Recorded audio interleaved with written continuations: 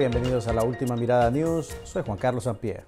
Faltan 286 días para las elecciones presidenciales. No tenemos reforma a la ley electoral, ni oposición unificada, ni garantías de transparencia.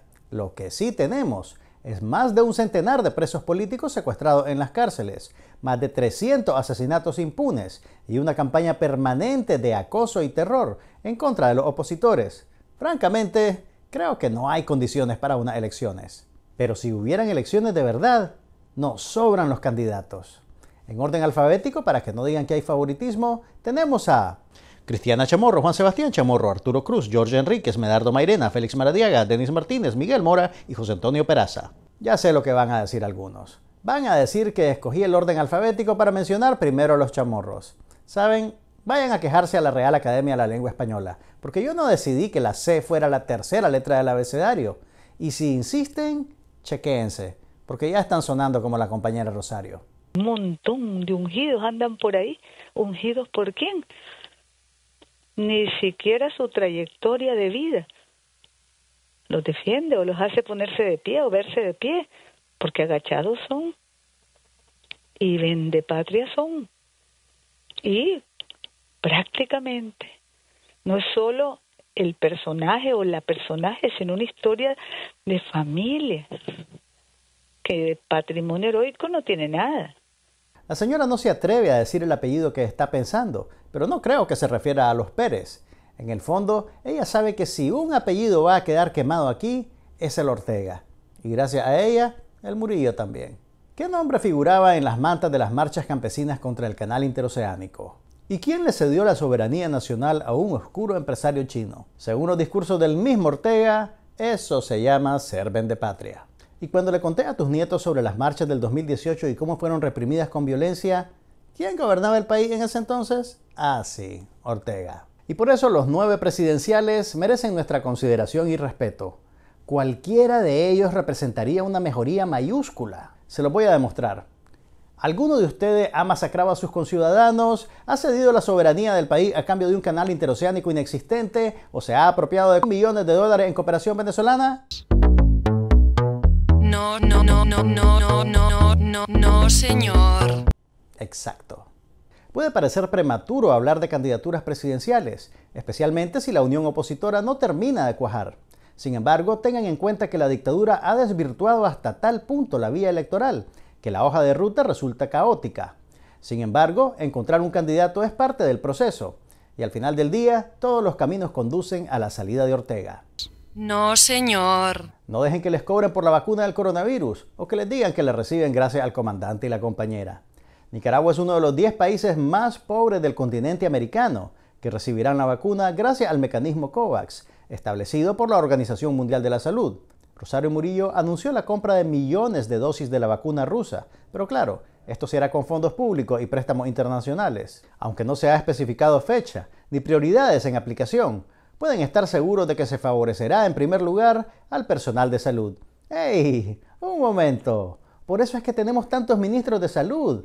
Son los mimados de la compañera y ella quiere asegurarse de que los vacunen temprano. Última hora, última hora, última hora. Ante los estragos de la pandemia del coronavirus en Nicaragua, el gobierno ha expandido los cargos de dirección en el Ministerio de Salud porque los cinco ministros y Anabel, la muñeca diabólica, no se dan abasto.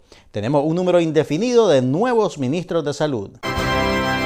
Son todos los miembros de la JS. Puchica, con ese nivel de talento mejor no se enfermen de nada, aunque va a resultar bien difícil no contagiarse. Un fin de semana que nos acerca, que nos reúne más y más 4.300 actividades entre deportivas, culturales, recreativas, tradicionales, artísticas. Esas 4.300 actividades son parte de un plan maestro concebido por la compañera Rosario para que tengamos suficientes vacunas. Le explico. Con este calendario de actividades se calcula que suficientes personas van a contagiarse y morir de coronavirus para que el número de sobrevivientes calce con el número de vacunas que nos van a llegar. Que no se diga que no piensan estratégicamente. Además, en plena segunda ola de contagios, el gobierno insiste en ocultar el impacto de la pandemia. El Observatorio Ciudadano del COVID-19 registra 12.500 casos sospechosos y casi 3.000 muertes en todo el curso de la pandemia.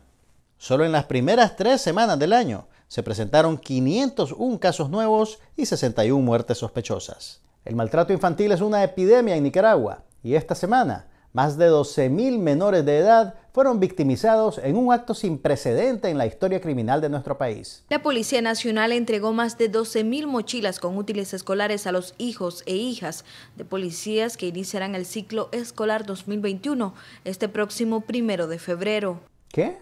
¿Decís que eso no es maltrato infantil? Espérate a que veas lo que dice la mochila. Orgullosamente hijo de policía.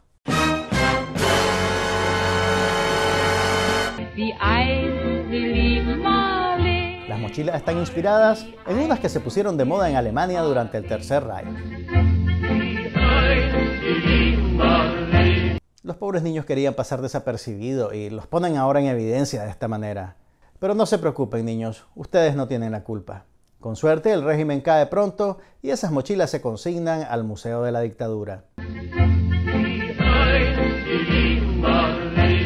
Este 22 de enero se conmemoró a los caídos en la masacre perpetrada por la Guardia Nacional en 1967 contra ciudadanos que protestaban pacíficamente en la avenida Roosevelt de la vieja Managua. ¿Y quién mejor para recordar el evento que Gustavo Porras, el presidente eterno de la Asamblea Nacional? Nosotros no podemos permitir que regresen las fuerzas del odio, del mal, que simple y sencillamente eh, masacraban, como masacraron en esta eh, avenida ese 22 de enero. Lo que Porras no esperaba era que le recordaran una masacre más reciente. Hay otra masacre Creo que eso es lo más ha sido denunciada por parte de organismos de derechos humanos desde el 2018. Bueno, muchas gracias, muchas gracias.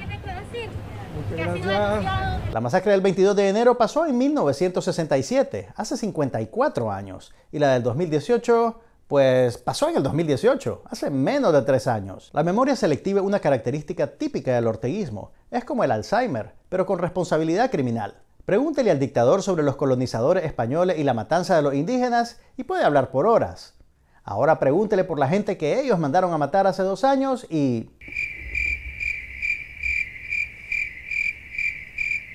Porras quedó en evidencia en este intercambio, pero por lo menos alguien salió beneficiado. Vean cómo esta funcionaria de la Asamblea Nacional se lanza a proteger a su jefe de...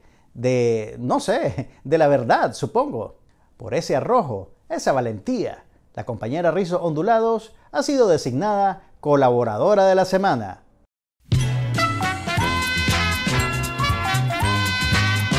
Y se ha hecho acreedora de una licuadora.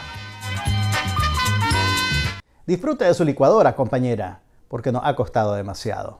Buenas noches.